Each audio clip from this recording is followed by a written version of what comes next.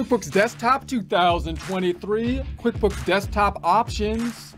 Let's do it with Intuit's QuickBooks Desktop 2023.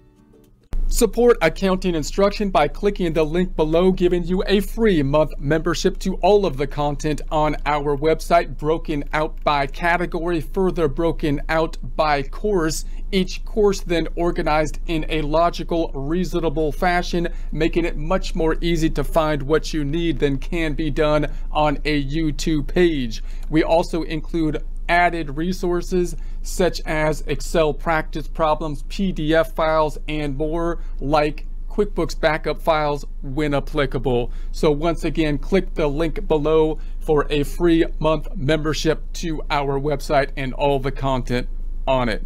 We're going to go to the source here, that being the Intuit website, Intuit being the owner of QuickBooks. That's at intuit.com, intuit.com. Intuit owns multiple different kinds of software. So typically I then want to go into QuickBooks. That's going to be up here at the top at this point in time in their website. So now we're on the QuickBooks page within the Intuit owner of QuickBooks website. Now remember, there's two major categories of the software of QuickBooks online versus desktop. We thought about that major distinction in the past. We're in a desktop course here, so we're focusing in on the options under desktop version at this time.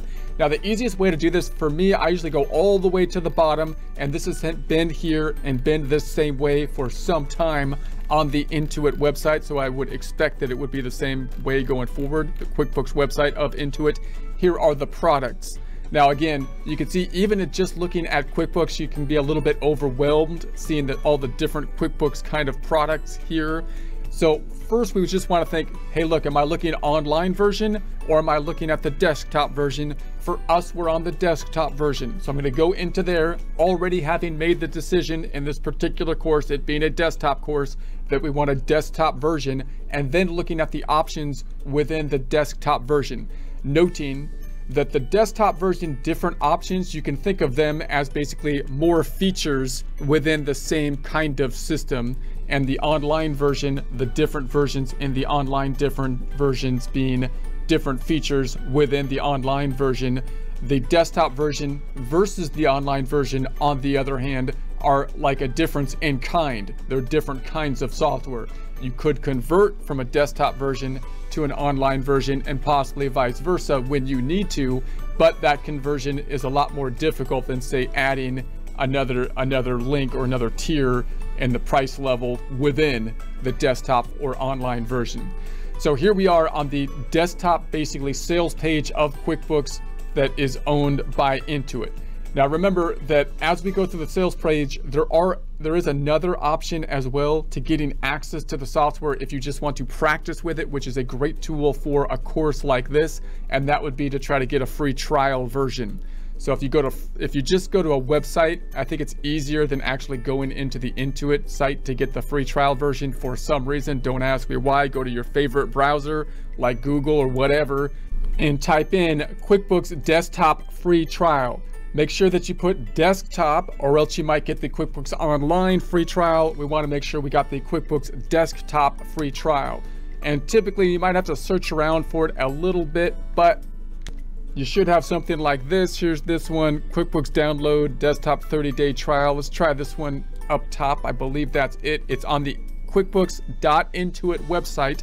So that looks correct. It looks like we're on the Intuit website, uh, QuickBooks.Intuit and then we've got the download 30 day trial. So we might go into this in a little bit more detail later, but that's one way to get access, which is a great tool for practicing in a course like this. It's a limited access time, but a great tool. Now at this point in time, I think they only still have the 2022 version accessible here. Hopefully they'll update it for the 2023 version uh, shortly. Also note that if you down like the enterprise version, for example, you should still be able to work with everything we're doing here because that's going to have everything we have and then have some more features over and above it. Okay, so we might go back into this just to point that out again in a future presentation, but just keep that in mind. Now we're just looking at the different options on the desktop version specifically on the sales page for the desktop. So obviously the free version isn't going to be here because this is their sales page.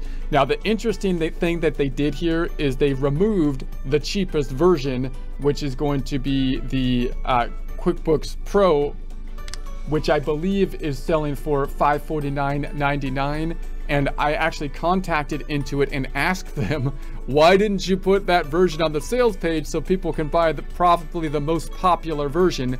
And basically they're trying to funnel people to actually talk to an accountant or chat with QuickBooks themselves to make the purchase. And I believe then the chat person is designed to be able to say, is it really the desktop version you want or are you looking for the online version? Now that might be because they're just trying to make sure that people don't purchase the wrong software. So maybe people oftentimes have been purchasing the desktop version instead of the online version, or it might be that they're trying to funnel people to the online version so that so that uh, possibly they have less people on the on the desktop version, and that's a little bit fearful because you think, well, then does that mean that they're going to try to remove the desktop version in the future or something like that? We talked about that a little bit in the past it, you would think that would be difficult to do because the desktop version is popular and it has some things that, that are do better on the desktop version than online. I won't get into that again, but I just have to show that here because you can see that with that missing component, which again is the 549.99. And because they're selling the online version here or letting you know about it on the desktop page, which again is, a, is another indication that either they're just trying to make sure people don't get confused or they're trying to kind of push people towards the online version. But remember the desktop version, especially for a course like this, has a lot of benefits for us, especially the fact that we can have backup files and the fact that we can have multiple company files. Those are huge benefits. Note that it might be the case that they're trying to push the small businesses over to the online version and then the larger businesses that might be utilizing some more advanced features that may still be better on the desktop version, such as related to inventory, having them use the Premier Plus and the Enterprise. And the reason I say that is that You'll note that the smaller businesses are the areas where you could have a situation where one bookkeeper tries to do fairly basic bookkeeping work for a whole bunch of small clients and they could do that with basically just one version of the desktop software, which from the Intuit perspective, they might see that as costly to them, right? They would rather be selling multiple versions of the online software to all those small businesses instead of having one bookkeeper do the bookkeeping for a bunch of small businesses and only be paying for the one-time software. So maybe they're saying, hey, let's try to get all those small businesses onto the online software, and then we'll still try to be marketing the desktop software for those more advanced users. I don't know. These are just guesses. But in any case, they do they do still have the pro version, but you've got to contact in chat to to get the pro version and that's the one that we're basically going to be focused in on here in terms of our functionality when we go through the practice problem and then they've got the Premier Plus and then the Enterprise, which is the only two that you can see on the current page here. We'll try to go through some of the differences they listed below. So the first one, uh, concurrent users. So these are the people that can use it basically at the same time. This is one of the, the big differentiating factors between a smaller business and a larger business is how many people can be logged into and using the software. And then we've got here on the enterprise up to 40 users advanced rules. One of the other things that becomes more and more of an issue as you get your a larger and larger business is to be able to segregate, separate the different kinds of duties that our people are going to do within the accounting department. And that's going to be a huge internal control. For small businesses, if you've got one bookkeeper doing all the bookkeeping, not a big issue. For larger businesses, then you want to specialize the duties as part of your internal controls. And that's one of the big advantages as you as you go up the price scale track income and expenses. That's one of the basic kind of functions of accounting software. So we would hope we would have that. The invoicing is going to be us basically billing the clients. The invoice is something that kind of records that transaction, a sale kind of transaction. And it also is going to be part of our, our receipt cycle for our cash flow cycle. So create professional estimates, invoices, payments, invoice for service, goods, billable time and expenses, and so on. So we'll talk more about that in future presentations. Run reports. So clearly running reports is one of the, again, the primary things we would expect accounting software to do. The, the normal reports being the financial reports, profit and loss or income statement, and the balance sheet, those being the main couple reports as we get more sophisticated, then we might want more customized reports. And that's when, once again, the more advanced software can run more specialized uh, types of reports for businesses, usually larger ones that have special needs.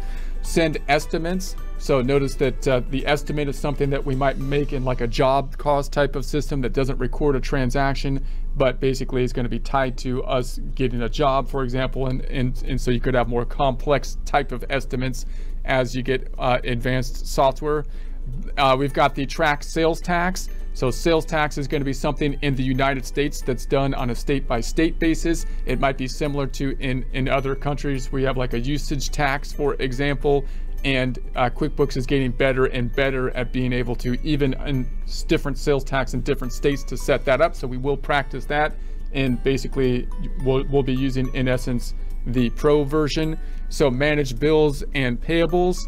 So the, that's going to be on the payment side of things. The bill represents in QuickBooks someone who gives a bill to us, meaning we're going to have ultimately cash flow going out, tracking the accounts payable related to it. We would expect that we will have that in the the software we'll be using, which is basically, in essence, the pro version, track time. So we'll talk about tracking time. We can use time to basically help with our payroll. We can also use it for our billing purposes in a job cost kind of system. So we'll we'll see that, and it's basically there generally in a pro version as well. So we'll see that in, in essence the pro version that we'll be using in our example problem. Track inventory. Now inventory is something that that uh, can get more tricky as you have more advanced needs for inventory, and you've got to think about: Do I want to have inventory tracked in the system? If you're a small business, do you want to have it tracked on a perpetual inventory method in the computer system, which would be tracking it in QuickBooks? Or do you want to have a periodic system that you can be using,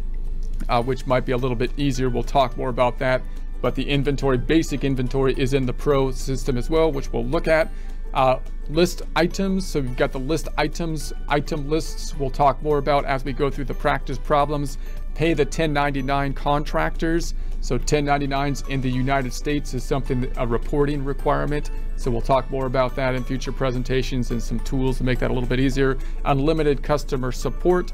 So notice that uh, you have some customer support, but oftentimes if you have bookkeeping questions, you might also want to have support from an accountant, for example. So we'll talk in future presentations about the support options that might be best uh, for you in terms of what you're using the support for bookkeeping questions or actual software kind of application kind of questions data backups so you've got the backups uh, forecasting so you can have different forecasting options uh, we'll talk about budgeting and so on a little bit uh, in our practice problem industry specific features industry specific features track profitability by product or by project. So you got project uh, billing and you can have different reports by, by project. So some of those might be a little bit more advanced and we could get into some specialties with regards to a job cost system.